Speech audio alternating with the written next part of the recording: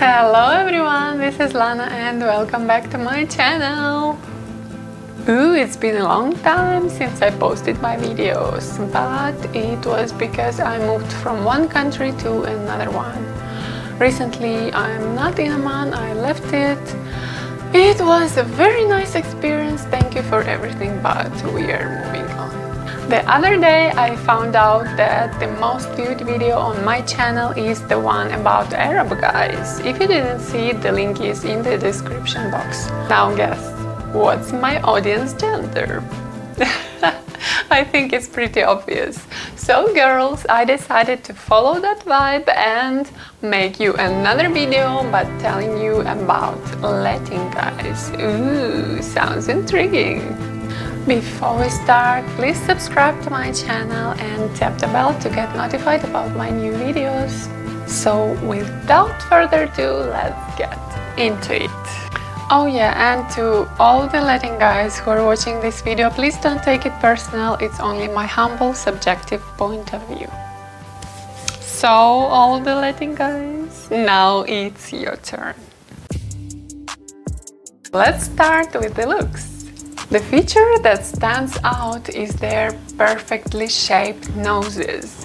And I had to say that because this is what impressed me a lot.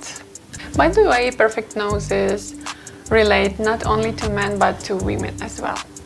Well, the dark skin along with the dark hair goes without saying because, you know, it's a Slavic girl's fetish. In Chile, there is a tradition to say hi with a kiss, even if you see the person for the first time. So it can become in handy. Just imagine you're at the party and you like someone new, and so be sure you will kiss at least on the cheek. How do they let you know that they like you? Ooh, they would do anything to draw your attention. But I would say it's like in a childish way because if you're sharing the same elevator, they will start to sing or dance or making some strange noises instead of just saying hi.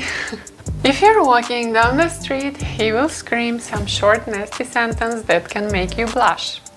To me, these sentences, which are called piropos, uh, they sound ridiculously funny. They make me laugh. Mm, I will give you an example. Mm, Te chuparía hasta la mascota, which in word-for-word -word translation means I would lick even your pet, which means you're hot. By the way, I think that on the streets um, uh, people don't get acquainted because Chileans are shy. Like they they don't approach women on the street to talk to her. But the place where they become brave and pushy are the discos. Yeah, let's throw some light on the discos. The other thing that impressed me a lot when I got uh, to one of the discos in Chile was that men actually dance there and they really enjoy the process, you know, because in my country uh, men dance only in three cases. First, they are drunk, second, they are trying to pick up some girl, and third, uh, his girlfriend dragged him to the dance floor. So uh, that's very cute about Chilean guys that they uh, really like dancing. Now something not very cute.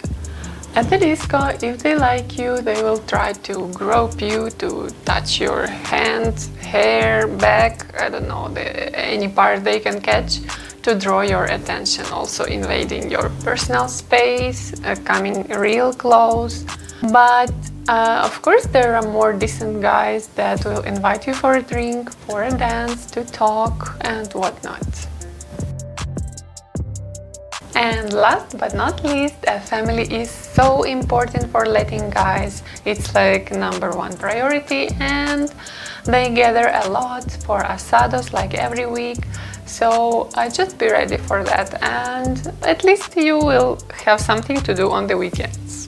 I hope you like this video, I'll be waiting thumbs up from you and also let me know in the comments if you would like to see the second part of this video where I will be asking my friends who still live in Chile about their opinion about Latin guys. and see you in the next one. Bye bye.